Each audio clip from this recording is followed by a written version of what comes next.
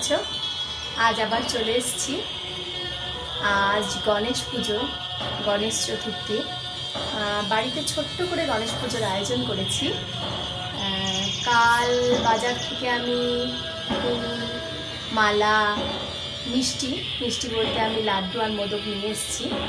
আজ বাড়িতে একটু বানিয়ে দেবো। যদিও গণেশ পুজো সেইভাবে বিশাল আয়োজন কিছু করি না, ছোটো করেই বানাই। যেহেতু ব্যাঙ্গালোরে থাকি, তাই গণেশ পুজোর একটু আয়োজন করে থাকি, কেন কি এখানে খুব ধুমধাম করে গণেশ পুজো হয়। আর সেই জন্য আজ আমি বাড়িতে একটু বানাবো মিষ্টি মোদক ট্রাই করব অবশ্যই। এটা প্রথমবার মোদক ট্রাই করব। আর আজকে নিরামিষ। রান্না বলতে আজ খিচুড়ি, আলু ভাজা, চাটনি, বেগুন ভাজা, বাঁধাকপির পকোড়া, এগুলিই হবে। তোমাদের সঙ্গে চলো সারাদিনটাই শেয়ার করব আজ। স্নান করে ড্রেস করে রেডি হয়ে গেছি, এরপর কিচেনে ঢুকে বাকি কাজই সারবো আর পুজো করব। এগারোটার পর মনে হয় শুভ টাইম আছে। এখন বাজছে সাড়ে সাতটা। চলো, এবার সব জোগাড়যন্ত্র করে ফেলি। আমি রান্নাঘরে চলে এসেছি। এবার প্রথমেই বানিয়ে নেব আমি ছানার পায়েস। ছানার পায়েস বানানোর জন্য আমি কড়াইয়ে নিয়ে নিলাম দু চামচের মতো ঘি। ঘিটা একটু গরম হলেই আমি দিয়ে দেবো ছানা। এখানে আমার দেখো এক বাটির মতো ছানা আছে। ছানাটাকে হাতে করে ভালো করে গুঁড়ে গিয়ে নিয়ে আমি কড়াইয়ে দিয়ে দেবো।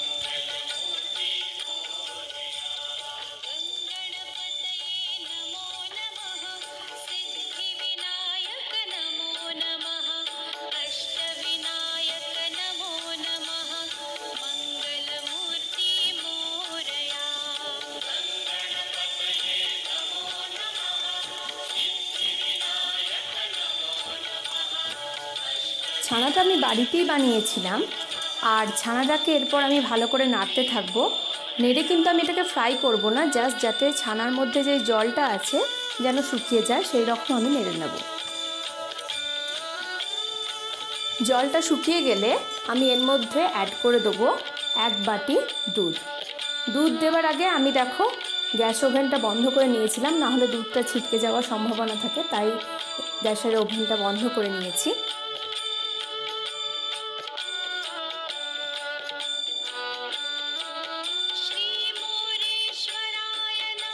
এরপর আমি এর মধ্যে মিশিয়ে দিচ্ছি গুঁড়ো দুধ। এখানে আমি দেখো চার চামচের মতো গুঁড়ো দুধ অ্যাড করলাম। এরপর এটি ভালো করে মিশিয়ে নেব। গুঁড়ো দুধ দেওয়ার কারণে এটি খুব ঘন হয়ে আসবে।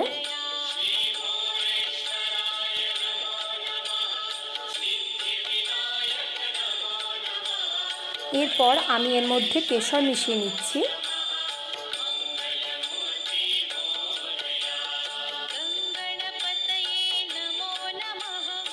এরপর ভালো করে মিশিয়ে নেব এবং পাঁচ মিনিটের মতো একটু নাড়তে থাকব। দেখো, এরকম যখন ঘন হয়ে আসবে, তখন আমি মিশিয়ে দেবো দু চামচের মতো চিনি। তোমরা তোমাদের পরিমাণ মতো চিনি দেবে। চিনি দেবার পরও আমি দেখো আরও বসিয়ে রেখেছি খানিকক্ষণের জন্য।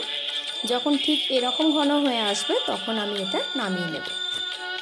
এবার চলো মোদক বানিয়ে ফেলি। মোদক বানানোর জন্য আমি প্রথমে কড়াইতে দেখো ঘি নিয়ে নিয়েছি, তার মধ্যে আমি দিয়ে দিলাম দুধ। অল্প পরিমাণেই দিয়েছি, কেন আমি বেশি পরিমাণে মোদক করব না, যেহেতু আমি বাজার থেকে কিনে নিয়ে এসেছি। এরপর দুধ দেওয়ার পর আমি সঙ্গে সঙ্গে দিয়ে দিচ্ছি সাত থেকে আট চামচের মতো গুঁড়ো দুধ। গুঁড়ো দুধ দেওয়ার পর এটা ভালো করে আমি মিশিয়ে নেব। দেখো মিশ্রণটা ঠিক কেমন ঘন করতে হবে, আমি নাড়ছি এটা।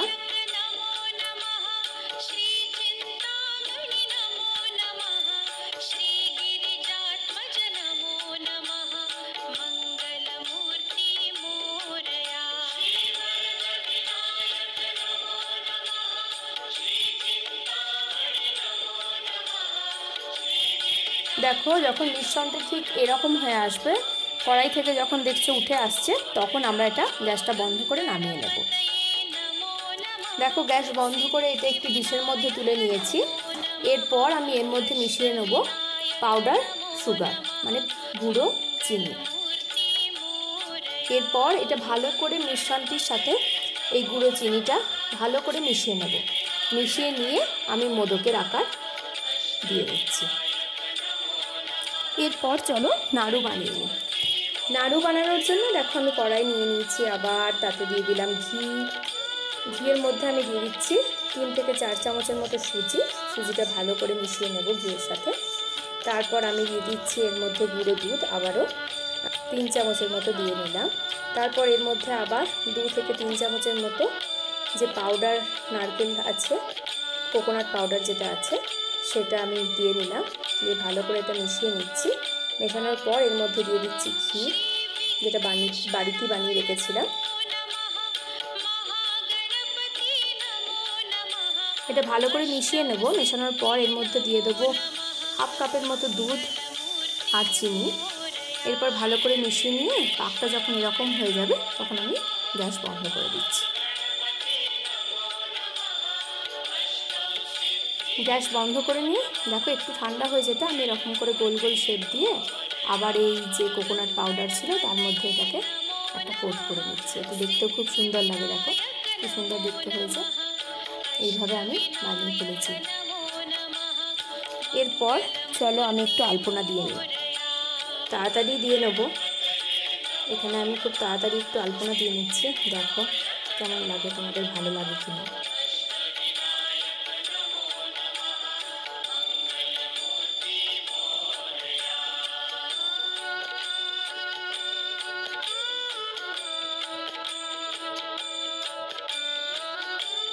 দেখো, আমি এখানে ওয়াটার কালারের সাহায্যে এই আলপনাটা দিচ্ছি। ক্যামেলের যে ওয়াটার ওয়াটার কালার পাওয়া যায়, সেই ওয়াটার কালার ব্যবহার করেছি। হোয়াইট আর রেড কালার ইউজ করছি এখানে।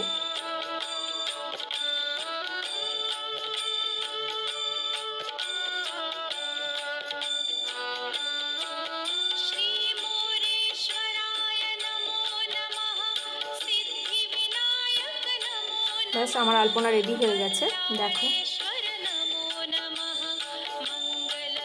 এবার চলো যাওয়া যাক ঠাকুর ঘরে ঠাকুর ঘরে চলে এসেছি।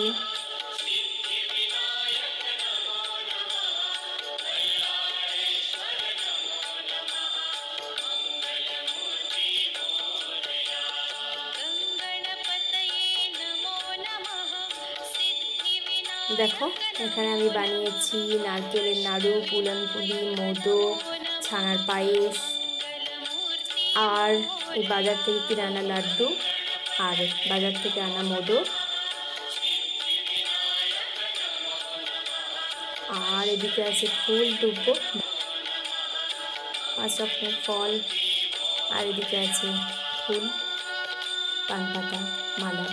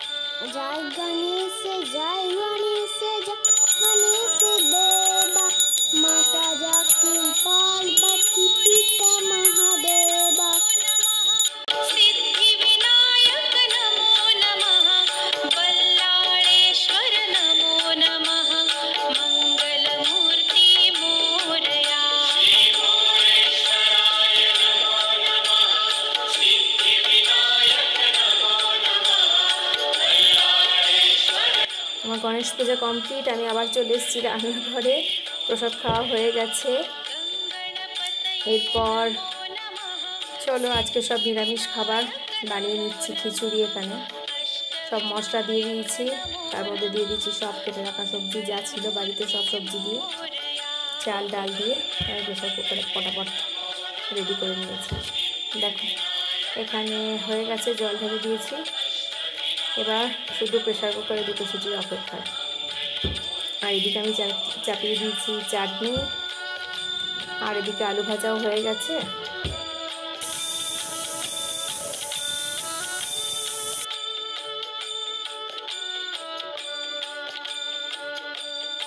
দেখো, আমার খিচুড়ি রেডি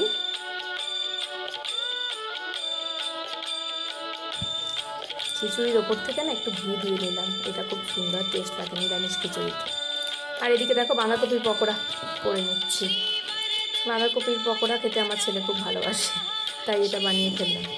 চলো, সব রেডি হয়ে গেছে। এবার প্লেটে সব সার্ভ করে দিই।